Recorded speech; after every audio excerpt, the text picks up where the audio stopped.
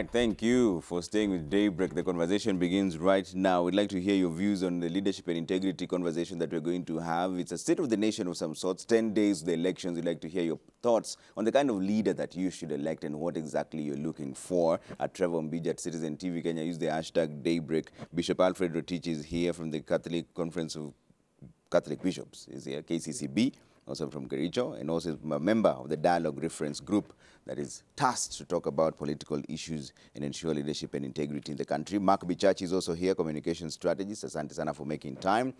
Dennis Nthumbi, the governance expert, is joining us online from Eldoret. Thank you so much for making time as well. Let's start off with the dailies here, and there's a very glaring headline from the Daily Nation. IBC calls for talks. Let's start from there.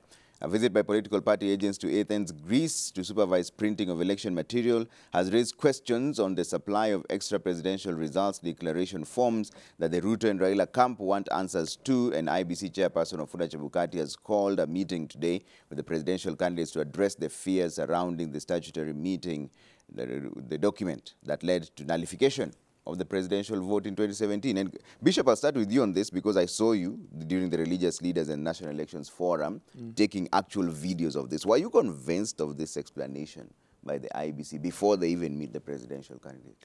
Yes, I'm convinced okay. that they are making, uh, they have already done uh, some percentage of preparation, and which we are happy, but we continue to ask them to increase their optics, especially to be present to the media, to the people, to explain what is it that they are talking about. Because uh, the mystery around it is that many people don't understand when they talk about, say, for example, even how to vote. Yet they know how to, they want to vote, yeah. but when they are taken through the, the process, then they can understand.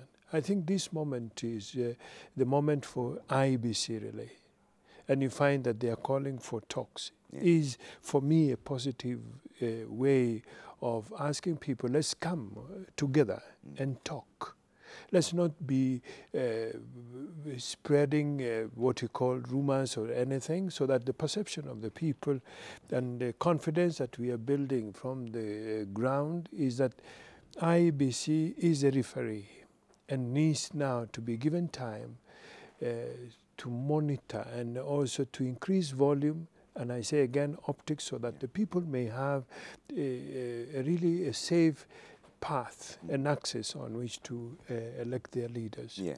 So we personally and I think from the plenary we see that uh, more than before they have done really uh, good work. Yeah it will be better. And I think the, the, test of the soup is on when they release the results. Yeah, but should they have waited to be jolted to, into this? Before, before they just come out and say this is what's going on, why did they have to wait until they've been asked by the presidential candidates for a meeting? Now it looks like they're reacting to that rather than being ahead of the game.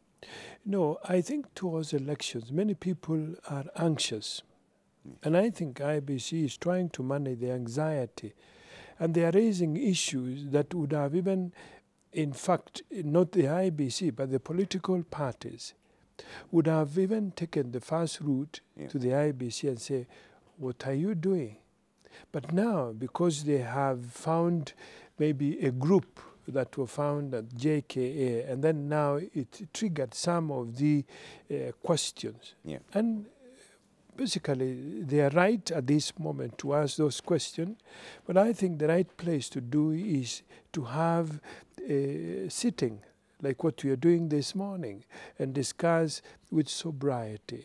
So I think uh, what we are asking the uh, IEBC, and it is uh, good to do so, is to increase the volume of their presence in the media and to speak about it on a daily basis other than waiting for people to ask those questions. Okay. Yes. I'll come to you and find out what else came out of the Religious Leaders uh, National Elections Conference, mm -hmm. what are the issues that stood out for you. But Mark, the, we are facing a situation where we just 10 days to the polls. And there are several questions that are coming out. In fact, uh, yesterday, I think Commissioner Molu was mentioning that some of it is emanating from ignorance. But at this point in time, is there a process we are supposed to be second guessing? From Well, the IBC. You know, Trevor, uh, we were right on this show, and when we talked about transparency and how IBC needs to be understood to be an institution that is not only doing the right thing, but must be transparently doing so. Now, um, let's take the issue of this Form 34s, and there being uh, another book that complete with security features similar to the first book with serial numbers, etc. You know, it is difficult for you to buy that this is a copy uh, uh, that is going to be given to observers. And the reason why I'm saying that is it's just given the natural order by which human beings do things. If you give me two pieces of paper and ask me to hand copy um, number one to number one, number two to number two, the probability of human error becomes greater. Why? Because it is easy to assume 10,000 is a 1,000, 10,000 is a 100,000, and such mistakes have happened even when people were copying down copies of the Bible. Therefore, I do not understand why the IEBC would then create two books when there is a very ancient technology that was created. It's called the carbon copy right? Why not just simply carbon copy this uh, document so that when you create one, when you write one Form 34, everybody signs and there's three copies, and we know the first copy is white, the second copy is yellow, the third copy is green. These things have been done before. It is not necessary to create an extra document. But the problem is not that they created an extra document, it is that they did not inform political parties in time that they've created a secondary document. And this is the transparency I'm talking about. And as long as there is no transparency, uh, the, the trust level uh, uh, uh, uh, of Kenyans towards the IEBC is low. And it's not just a function of them mistrusting Chebukati, it is also a function of the history they've suffered. Remember, the Mlolongo system was not trusted. Remember the elections of 1997. Mwai Kibaki did not trust the results. So we have a lot of history where the electoral body has let us down. And if you have such a history, then it behooves you again to go back to the to the to the to, to the drawing board Yeah. and overshare information.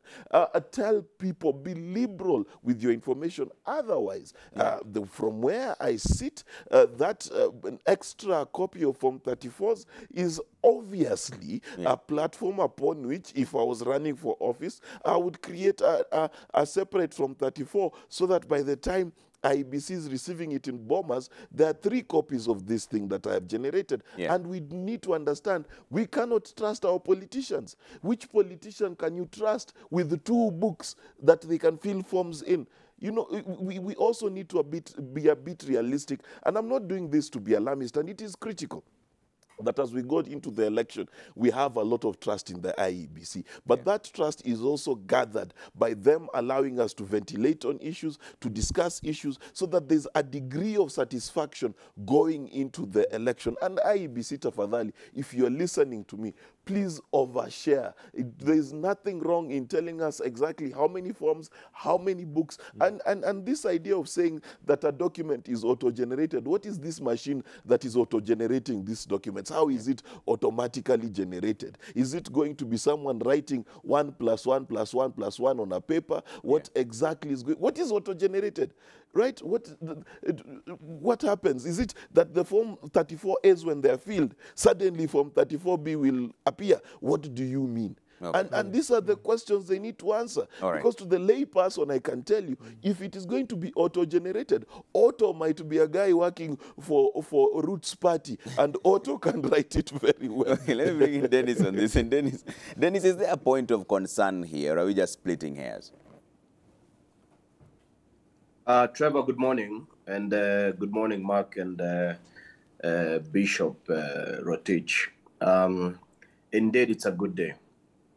Uh, Trevor, and, and good morning, viewers. Trevor, one of the things that we suffer in this country is trust deficit.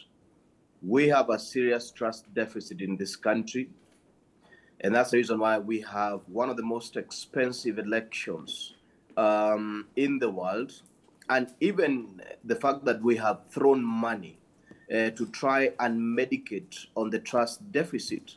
We have not gone to the great monarch of heaven and ask God to change our hearts that we may be able to trust each other and at the end of the day deploy integrity in every area, especially in the area of governance and many other areas. So essentially, what happens when IBC does something, we then consult on or lean on the understanding of the trust deficit. And the first thing we do is we accuse them in the salons, we accuse them in the barber shop, we accuse them in the buses, and then we come to the media and say, Look at this guy. Look, you know, I thought he was going uh, to wear a blue cap. You know, now he's wearing yellow. You know, he's supposed to wear white. And then after that, then we go and talk to IBC, and then we're like, oh, you should have said.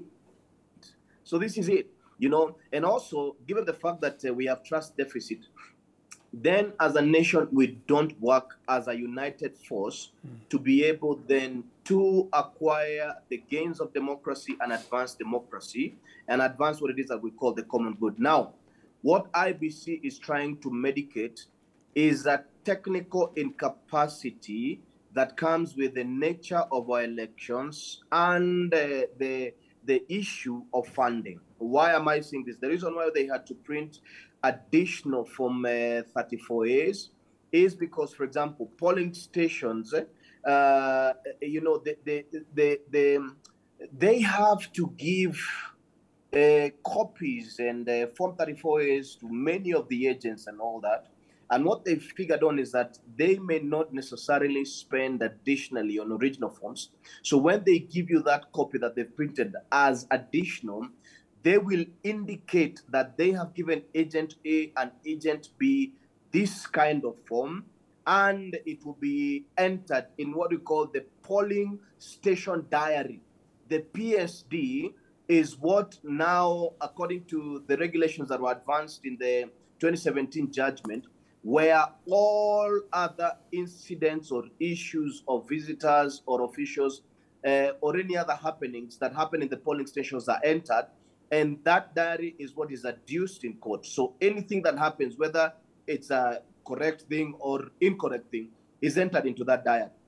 Now, when you look at, uh, and, I believe possibly they've uh, uh, printed those additional forms that necessarily don't have the security features and all that. Now, that thinking is a thinking that came uh, within, uh, you know, uh, the regulatory framework of IBC. And perhaps they were figuring, how then do we do this? How do we medicate the fact that, um, uh, you know, we need uh, to do additional Form 34s? And they printed the original forms, they printed 100% based on the, now the exact number of the voters uh, in this country. They did they did not do an additional one percent. They did not do an additional two percent, and therefore, because that paper is more expensive than this other one that they printed, yeah, and therefore they so for us to be able then to spend less, let's print another paper. Now we know that uh, there's nothing like hundred percent turnout. So also there's the other question of spoiled votes. You understand?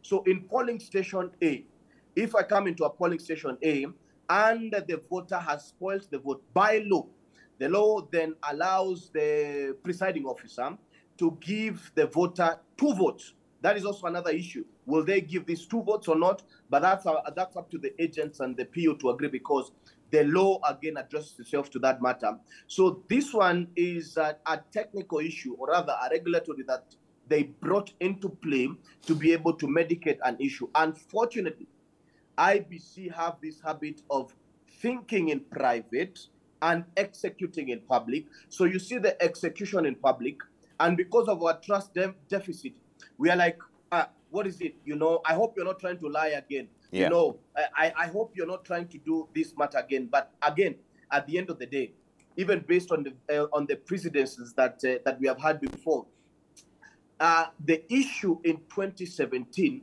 was an incapacity yeah. that IBC was introduced by a third party. That's the issue of networks, as you're well aware.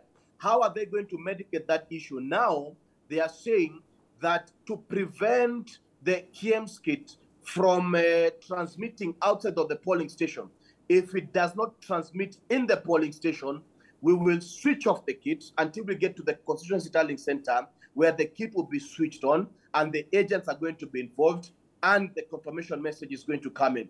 So I don't think this is an issue that we need to start accusing IBC. I think what we need to do Yeah. is to encourage IBC to be dialogue centric more, to encourage the parties to be dialogue centric more, and to stop playing out many of these issues essentially in public when we have not consulted this referee that we're supposed to be in a relationship with and understand why this decision was taken. Because again, it's within the preview Yeah. and within the jurisdiction of IBC to do many of these things. Okay.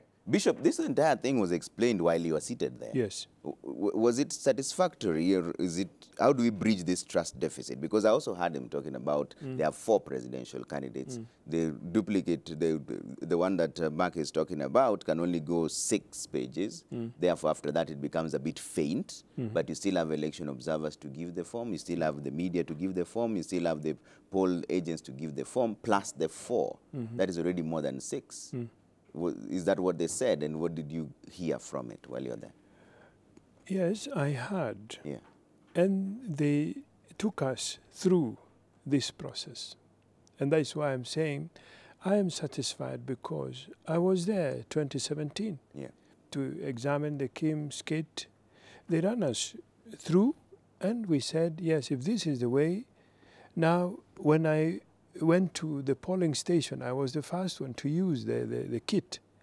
Now, the assurance that they, this morning that they are going to Bomas Yeah. and have a discussion with the parties, I am sure it will be proven. It, today they will ask as many questions and the clarity will be told so that the political parties who are actually the, the users, so to say, and the general populace will be given an answer.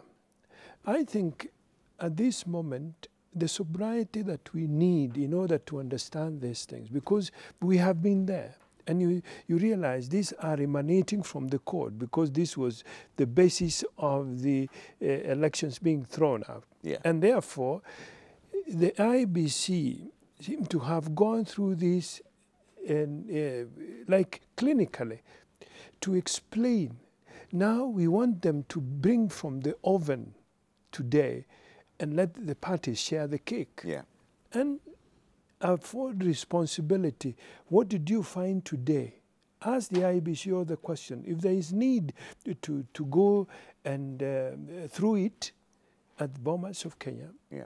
Let it be today, and the media will help us really greatly uh, to transmit these uh, questions and answers. And I'm sure clarity will be sought on this program. Yeah. So what we saw, you know, now we are finishing today, and uh, we, we will be there in a few hours. And I hope by the time we are issuing a communique, we'll be able to uh, communicate to the Kenyans what really we have found out. But we, as far as I am concerned, truly, I am satisfied Yeah. that given the, the status, you can hear people saying, the analysts are saying, let them go out Yeah. And let there be a space by the media to give them and to walk them on all stages and to explain where the questions are being asked. Okay. So I think that is uh, the truth of the matter. And now IBC, I'm sure, whenever there is um, a doctor is on stage now uh, trying to operate, I think they need sobriety. Yeah. It's not that they're hiding things, but we want them to to bring it uh, to talk to us. So um, I would encourage that trust deficit that we have as Kenyans. Let us now minimize Yeah. and encourage each person in this country, even including uh, those who are vying for political um, uh, vacancies, Yeah. To truly know that there is only one referee. Yes, we Yeah. must challenge them, but how do they do, work, uh, do their work without our uh, what we call calmness? And what we are asking the, the political parties and everybody to be calm Yeah. and let now the media and the IBC Yeah. show us what is it. Are we satisfied? Okay. At what level? Yeah. So that we can grade them also. Okay. And the taste of the soup is in there. Uh, okay, I have to take a quick break here before we come back and continue this discussion. But Mark, let me bring you in as we wait for the break, the, uh, the break we're about to take. You know, just a few days ago, there were some three Venezuelans who came into the country. They were accused of having election materials that were not declared. The DCI said they're illegal in the country. And then yesterday, the Inspector General and the IBC chairperson comes out and tells people that all is well. In fact, their word was, it has been resolved. How do they bridge this uh, trust deficit when there's certain fundamental questions that they don't track back and answer? I mean, the first time you said they were here illegally, are they now here legally? Uh, did they have election material? What's going on? Trevor, you ask an amazingly good question, and I think it's the question of the hour. It is the question of the hour because, and I've said this many, many times, Trevor, today, if you left this uh, uh, building and went to your house and found a plumber in your shower, I am telling you that plumber will be arrested. Why? Because he did not declare why he is there. You do not know who sent him, whether it is your landlord, your wife, your spouse, your ex girlfriend. You don't know. You don't know whether, in, uh, while he's laying the pipes, he's putting cyanide to poison you. And this is the thing that IEBC does not recognize. Anything you do in this election that is not upfront declared is going to be subject to conspiracy theorizing, not only by state actors, but also by ordinary Kenyans. And this is the problem that I think has not sunk into IBC's mind. They think that Kenyans are doubting their competency. No, that's not the issue. Kenyans want a direct line of sight between my couch and IEBC. I need to understand what every form means, what a duplicate means, hmm. why it has a separate serial number from the serial number it is a copy of. We need to understand all of those things. Otherwise, Yeah. Schrodinger's cat's rule applies, mm. where you are both stealing and not stealing at the same time, because as long as the box is sealed and you have a radioactive material called election material in your box, trust you me, people will find issue with the IEBC, and rightfully so. And I'm here to tell Kenyans that the kind of observation mm. and, and, and raising of issues that we are doing is good for this country mm-hmm. because it is what is going to test uh, the, the, the, the, the, IEBC to make sure they deliver. Now, for example, if they explain this Form 34s and, and Kenyans are satisfied, and we find this Form 34s, we find two uh, different Form 34s for one polling station, then we know there's something wrong with the system. So we need to understand, and the IEBC, I am begging them to understand what we are saying. We will assume that you are good and bad at the same time for as long as you remain hidden in a box with a radioactive substance called our elections. And we know that our elections can easily be volatile. So, IEBC, if you're not going to open up that box, if you're not going to, uh, for example, make available the KPMG report, explain yourself before you do things, uh, tell us who Otto is and how he's going to generate these forms. Unless IEBC does so, I'm sorry, the good bishop has clearly more faith than I. Okay, let me bring in Dennis on this. Dennis, uh, you, you had the conversation and the press conference from the Inspector General Police and the IBC saying that all is well after they had raised questions of three Venezuelans who are here with election material. Were you convinced with that simple answer that all is well now? Uh, Trevor, uh, thank you very much uh, for that question. Uh, Trevor, I sit as um, a train of trainer on uh, matters of um, election agents, chief agents, and the electioneering process. And uh, one of the things that I have done is even with interacting with uh, senior IBC officials and other officials, election agents from uh, political parties, I realized that uh, this year we have one of the most bloated elections. And of course, it comes with the issue that we have large formations called coalitions. In one polling station, uh, uh, the MCA elections itself has uh, even more than 25 candidates. Imagine that is paperwork at the end of the day. Imagine those are resources that are required for IBC to um, be able to adjudicate uh, that process, to be able to oversee that process. And then we are looking at as, as an at an institution that we have starved of funding for so long, and then they're supposed to oversee these bloated elections. so I think uh, we need to really save them some slack. We need to make sure that we build their capacity. We need to make sure that uh, we have dialogue with that more. And IBC sincerely, perhaps uh, seen uh, within the media space as opaque, uh, many of us that are involved within this electioneering process, you speak to colleagues, uh, you know them, you've worked with them for a while, and they will tell you the truth at the end of the day. And uh, we just need to make sure that we establish this concept of dialogue. Coming to that police incident, we know that uh, sincerely uh, the DCI misrepresented the facts.